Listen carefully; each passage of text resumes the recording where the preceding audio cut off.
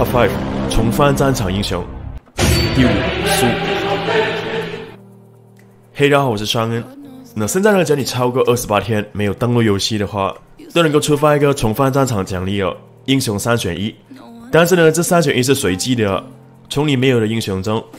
那以下呢是我们整理出一些常见的组合，资料呢来自巴哈论坛，还有呢群组中的一些观众粉丝的分享。那如果呢你超过二十八天没登录，你的英雄中呢出现了我们 Top Five 榜单中的这几只，那你就可以优先选它了。那如果呢你是很久没玩传说的朋友们，你这次登录呢有触发这个奖励的话，也欢迎在下方留言分享你拿到了什么样的组合，让我呢跟观众朋友们一起参考参考。那我们从第五名苏开始，为什么没选苏呢？我们参考一下官方过去的做法，强势角呢不会强势很久，只要强势两三个版本左右呢就会消落。而最近呢，非常猖狂的射手就是卡芬尼还有拉维尔，大家呢对他们的下场可想而知了吧？而当中呢有一只非常安全的射手啊，那就是苏。苏这英雄呢很难被削弱，虽然呢我们的狙击还有我们的射程是比较弱的，跟他的百里守约版本相比，但苏本身呢是具备了好多的优点哦。首先呢靠着墙壁跑得快，有隐形陷阱可以看视野，视野就是一个超级棒的技能了。再来呢，只要我们买出天丛云，就是百分百的穿透。敌方出什么坦装呢，我们都有输出。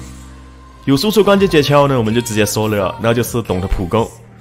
绝对不要在被秒老半天呢，你队友在打的你死我活的时候，我们往前去普攻一下两下呢，这样绝对会有影响。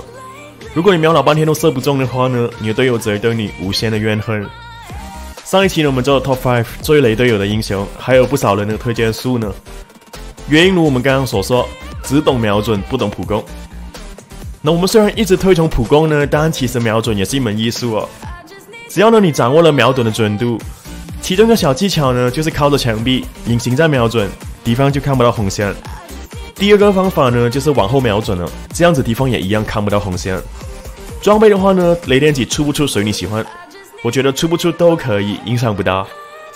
等你玩的速度累积了一定的场次。你的二技能比较准一点之后呢，你可以尝试去瞄敌方的脆皮英雄，比如法师、射手最简单，再来是刺客。他们团战中呢，只要被我们射中一枪两枪，他们就要回家补血。有时候呢，如果我们够飞的话，甚至一枪就可以把敌方赶回家。这样子我们就可以创造多打少的优势。不管是要推塔、吃凯撒、吃深渊魔龙，对团队呢都很有帮助哦。别忘记了，我们还能够放三个陷阱，提供大量的视野。陷阱放的位置呢，就是关键的路口了，比如刺凯撒或者推塔的必经之路。苏之英雄我还是挺喜欢的，我觉得他也挺万能，什么时候都可以掏出来。苏本身呢也可以安全的清兵，因此呢你玩苏就别死太热刺了。毕竟呢发育就是射手的核心。第四，提米。那提米呢可是这版的隐藏神角。如果你看之前影片呢，你应该知道当前的射手还挺强势的，不管是打野还是魔龙路。而提米呢，不但只能够养射手，把他们养得肥肥胖胖的，还能够呢神保牌，技能本身呢就很保牌了，有范围晕眩，可以单体晕眩，也可以快速的靠近目标或敌人。还有呢，就实际用的好的话，非常无敌的大招，免费的复活甲。如果你队友呢选的是射手打野，不管是兰多尔还是索文，甚至呢是银州，我们都可以去保他养他，只要跟着他们就好了，稍微的加快他们进野的速度。毕竟现在呢，辅助已经不会吃到队友的经验值。那毕竟呢，这是回国玩家的特辑，相信很多回国玩家不知道哦。辅助现在已经不会吃到队友的经验值，只要你有买辅助装的话。但记得呢，最后一下下留给你的队友，那就对了。除了跟打野之外呢，提米也可以跟后期射手哦。他很容易呢把后期射手养的相当肥，甚至呢把魔龙都养成全场最高的经济。只是要跟队友沟通好啊。这版本的流行中野辅联动拿优势。如果呢，你决心呢要养你下路的卡芬尼或者特纳斯拉维尔，那要跟队友说好，告诉他们的核心围绕着魔龙路来打。玩提米玩好最大关键呢，就是我们要在对的地方出现。比如啊，你的射手快要死的时候要帮他复活，或者呢要帮射手探草让他射人。那要懂得该什么时候进，什么时候退。最重要的就是复活时机了，不要让你的队友死掉你再开复活，这样子呢是对士气很大的影响啊。但大家也不用太担心就是了，毕竟呢提米大招只是按一键而已，没有你想象中的那么难。第三，PP。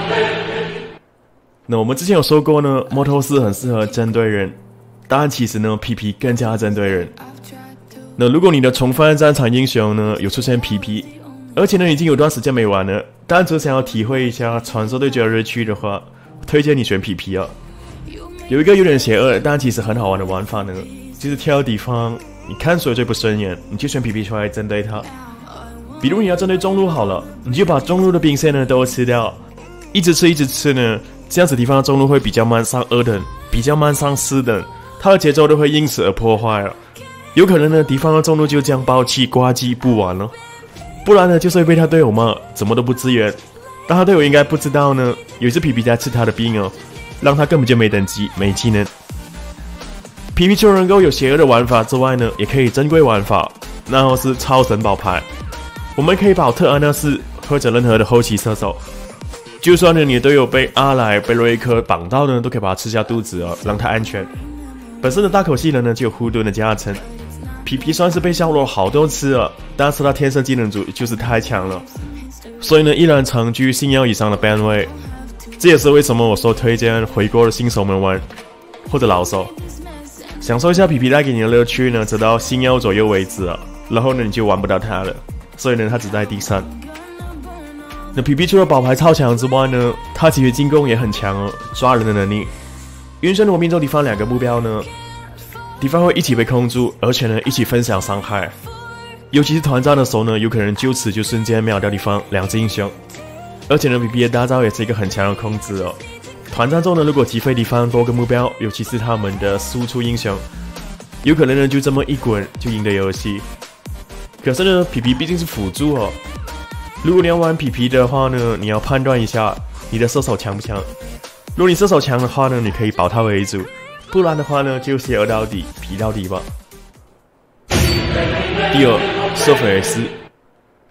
瑟菲斯呢是我的第一次打野英雄，也是一个很全能的存在。他可以当刺客秒人，可以当坦克冲敌方后排，也可以当一个战士进出拉打。如果你这一次回国呢，想要练打野凯瑞队友的话，那瑟菲斯呢是一只不会错的选择。除了瑟菲斯以外呢，常出现的另一只战士叫吕布。吕布呢，我也很推荐大家选择。只不过呢，想到老玩家们应该有当初呢，储值三十块就送吕布，应该大家都已经有了吧？吕布这版本呢也是很强势哦，对上一线角呢走凯撒路也不错，打野也可以。那么回到瑟菲斯，装备的话呢，可以照我们这样出。全能武器的位置呢，也可以改成冰袍。推荐大家出打野服，出斧头瑟菲斯呢会硬很多，也能打架很多。如果出收文件的话呢，前面会稍微脆皮一点。奥义的话呢，带猛攻刺杀龙爪，传统的百穿。当然呢，你可以偷杀一颗暴怒，说不定呢你会运气不错。那瑟菲斯呢，最大的缺点是大招比较难挑中人。那我们教大家两招来克服这个缺点哦。它的优点的话呢，则多到说不完。伤害很高，有位移，打野来说呢，算是非常非常硬的。如果敌方魔攻很多的话呢，就出个仙灵吧，在我们狂暴手套的位置。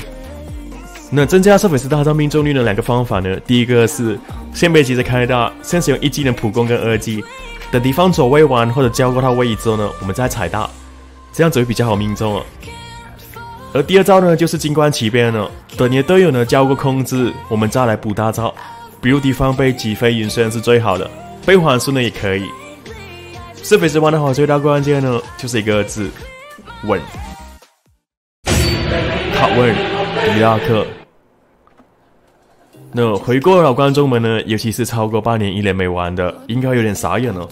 这一只喷龟派气功还会元气弹的超级赛亚人到底是谁？他的名字叫迪拉克。他也算新时代中呢设计比较成功，而且相当强势的一只法师。迪拉克最擅长的地方呢是在于团战，不管是进攻或防守都很强。